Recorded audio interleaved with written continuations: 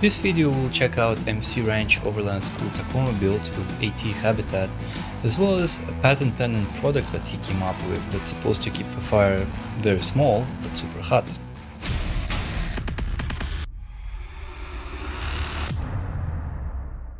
Hey, how's everybody? Welcome to the MC Ranch Overland Tacoma. Yeah, so it's a 2016 Access Cab, manual transmission, which is kind of nice. I was lucky enough to get a AT Overland Habitat canopy for it, which is kind of unique because even though it looks quite large, it only weighs 340 pounds. When it opens, the bed actually cantilevers out the back here. So you've got the sleeping area, but then when you're in the back of the truck, you can stand up in the truck just like it's a camper, which which is pretty nice. So the weight of it's really important, 340 pounds. You don't have a lot of, you know, high center of gravity. Um, the ARB awning I installed and I made the standoff and everything because it has to clear the piston rod. That adds a little bit of weight to it. Yeah, so here we have uh, the Dickinson Newport, which is a, uh, they call it actually a fireplace made for sailboats and it's a low pressure system, which is kind of cool. Um, it has a high and a low setting with a fan. On low setting, it's 4,000 BTUs and it'll burn one pound of propane every eight hours. So really quite efficient. And then it has an A vent, which the outside of the pipe is the combustion air, which comes from outside. And then the exhaust there's an inner exhaust pipe. And what's neat about that is when propane when propane burns, it's about 50% water, the vapor that comes off, mm-hmm. and you do not want that extra, you know, moisture inside your tent or anything like that. And then here, this is the chimney, um, and then this is just a cover, just a weather cover. And um, you know, when we get to camp, we just pop this off, and and that's the chimney. So uh, the smaller one out front here is the exhaust and the other one is the, is the combustion air. And here's the magic, guys. There we go.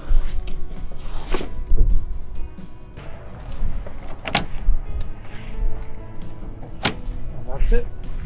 And there it is, habitat set up. Uh, pull these down. The last step is to go inside the habitat. So who is the guy with the cell phone? That's actually Chrome from Van City Van Life. Go check him out.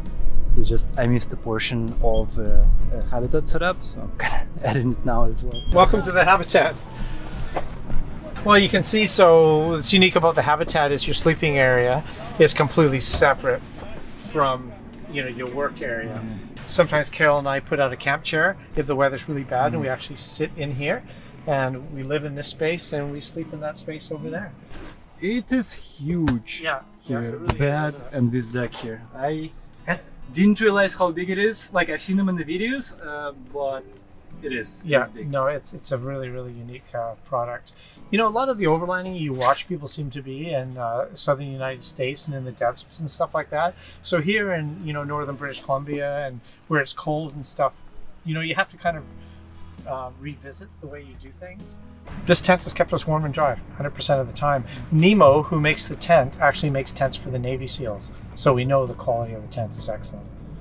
And uh, so we're really trying to support AT Overland, uh, who makes the uh, habitat, and, uh, and we really love the product. So I have a Fab 4 bumper, but Fab 4 unfortunately doesn't make a tire swing out. So I made this tire swing out for it with this. And then this is just an aluminum um, box that's made for pickup trucks, but I repurposed it.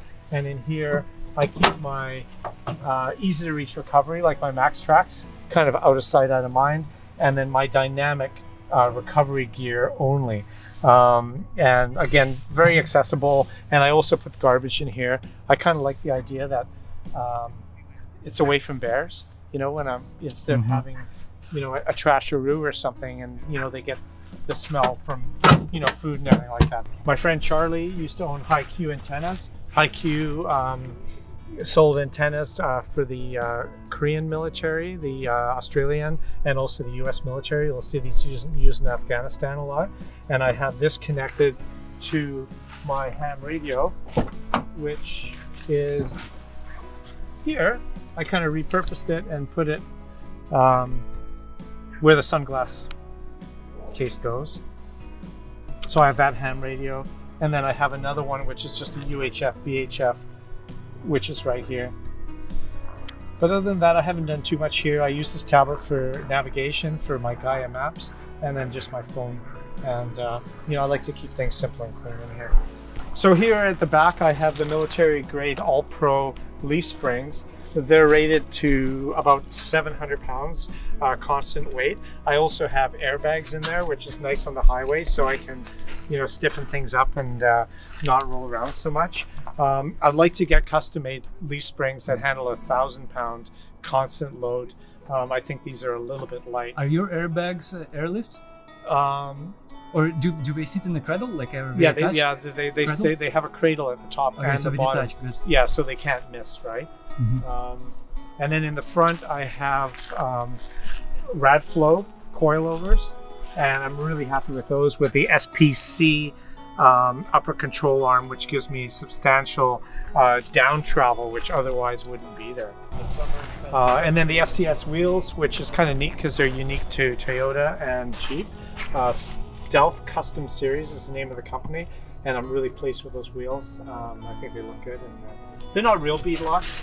This this is a faux bead lock, mm. but still, yeah. These these are the Toyo Open Countries. This is a unique tire size. This is the 255 85 R16. So they're quite narrow. They're only 10 inches wide, but they're 33 and a half tall. And as you know, the military always seems to run the cookie cutter type wheels and tires, and um, you just get a lot more surface pressure.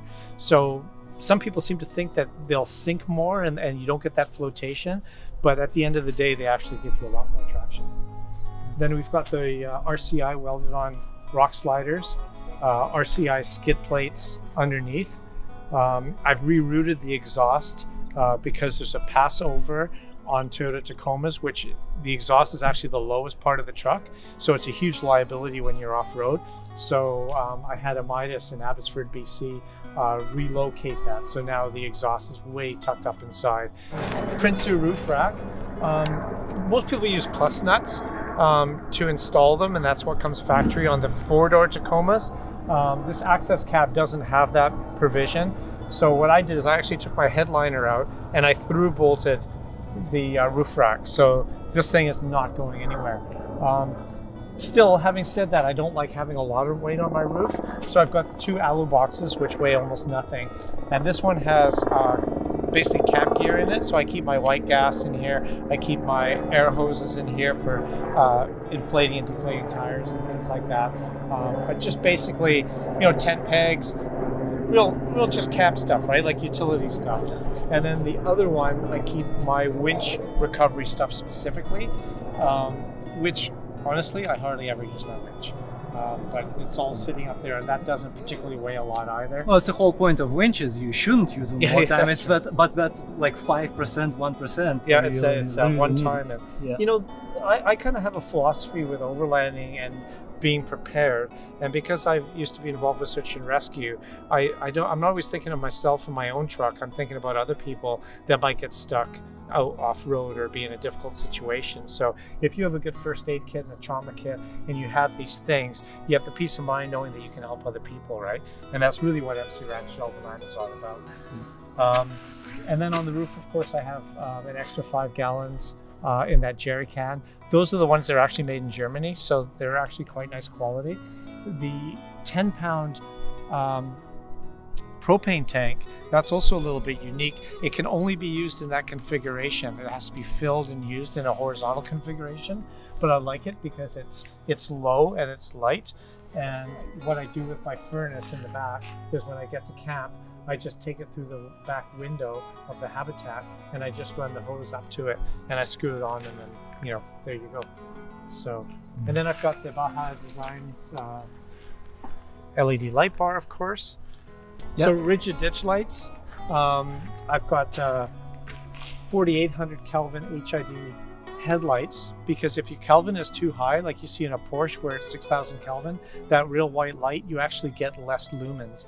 So this is optimized for actually light output.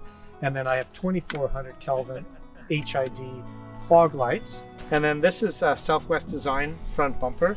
Um, and then again, another rigid light bar. In here, I have a Smittybilt uh, 10,000 pound uh, remote control or wire winch, whichever way you want to run it.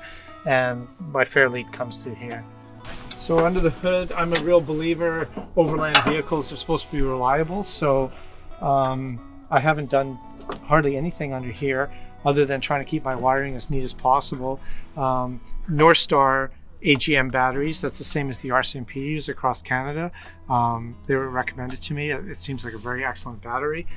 Um, and then I just have a small fuse block for my lighting, which is accessible. And then I have the single, um, the single ARB compressor here. Um, and then I have my axle breathers here as well. So as you know, when you go through cold water, the um, the normal breathers that are on axle will close so you don't get water migration into your axles. But what happens is then you have uh, a, a, low compression, a low uh, pressure area, and then you'll actually suck water into your axle seals. So it's absolutely critical on any overland vehicle to, to breathe the axles like that. So I've introduced you to the MC Ranch Overland Tacoma. Well, what's who's MC Ranch Overland? Well, it's a company uh, that my wife and I started. Um, everywhere that my wife and I lived, our friends and family called it MC Ranch as a term of endearment. So we sort of adopted it and we called it MC Ranch Overland. But what I've invented and I have an international patent pending on is a product and we, we call it the original fire reflector by MC Ranch Overland. Um, it comes uh, in a case that's made by a company that makes carrying cases for the military specifically. So when we say that it's military grade, it really is. It's, it's made by a company that does that type of stuff. Has the Delrin military grade zippers. And then here's the original fire reflector. Original fire reflector, it's, um, it's made in British Columbia. It's hand assembled, uh, hand finished, and vetted for accuracy, if you want to call it, for quality.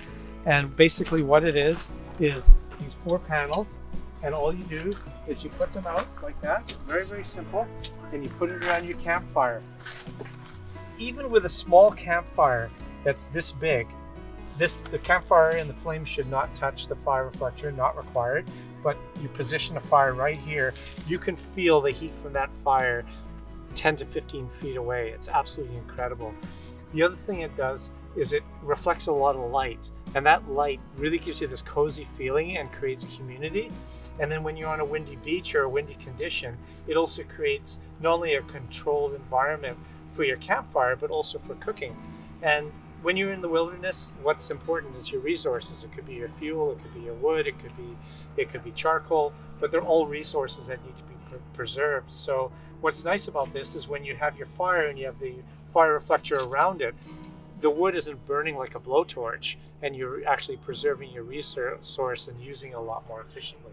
If you're actually cooking, um, you can stand on this side of the fire reflector and you can flip your steak or your corn from here and you actually have no heat at all. So when you approach the fire, it's actually safer. Really? That's actually cool. Yeah. That you yeah. don't get so burnt, yeah. when, when we first used it and invented it, we it, intended it to reflect light and heat. But as more people have used them, they're giving us emails and saying, oh, oh my God, look what it does. One of the other things is we had a uh, YouTube channel, the Epic Family Road Trip, um, and they were using it in the beach in Texas. And they said it was so windy there that they're eating their food and there's sand in their food. So as soon as they started using the fire reflector, it was actually keeping that contamination out of their food.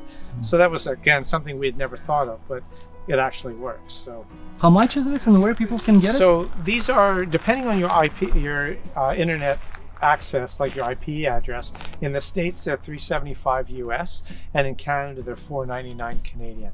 Mm. And you can see it on our website at www.mcranchoverland.com. And uh, yeah, they can be purchased there. Uh, we also have other supporters. We have Big Tent Outdoors. Uh, Big Tent Outdoors is the Canadian exclusive distributor for iCamper and many other bespoke products. And they've taken us under their wing and they're trying to support us with this. Um, a lot of these type of products are made in, in Asia and they don't cost very much to make and the quality is not there. But we're really trying to make an heirloom quality product that will create memories for you and your family for many, many years. So the idea is if somebody purchases something like this, they basically have it forever. Um, the other kind of neat thing about it is if you have two families and they both own a fire reflector, you could use one fire reflector for cooking and the other one you can get the campfire going. But at the end, when you finish cooking, you can actually, these are designed so you can laminate them together. So you can open up the fire reflector, you can put another fire reflector, you blend the other one on top of here. You can put a little pin in here and then the fire reflector will come out to here and you create a bigger nest for more people. Hey Victor, well thanks for shooting this video with me. That was just awesome. That was a lot of fun. So if people want to know a little bit more about MC Ranch Overland, if you go to www.mcranchoverland on our website and read the About Us page, you'll know that we're about building meaningful community. And obviously if you're going to be in, into philanthropy and helping other people, you need a little bit of resource behind you. And that's why we're building the company with the uh, original fire reflector and we're trying to build community. So if you ever see my truck on the road, you know, give me a honk, give me a high beam flash, and uh, and I'll pull over and we can say hi. Um, my personal cell phone number is on my website. Anybody is welcome to call me at any time. I never turn it off. Nice meeting you. Very nice to meet you, my friend. Cheers. See ya. What you do is you join them together. Double action